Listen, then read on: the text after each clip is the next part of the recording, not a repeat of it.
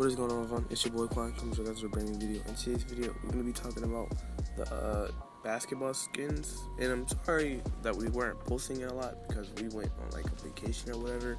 And in today's update today, like patch 7.30, uh, jump shot in uh, jump shot, the jump shot, the jump shot skin was removed from your locker. So if you go to your locker and you had it, it's not there. It will not be there. And the triple threat outfit was probably was removed too because I'm pretty sure that's a part of like the the basketball set.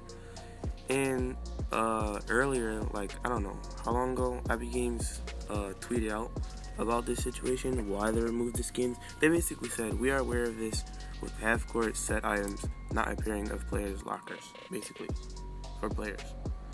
It's like a resolution glitch, like kind of like uh the Zoey skin last time, because the Zoey skin got disabled before. Like it's kind of like that.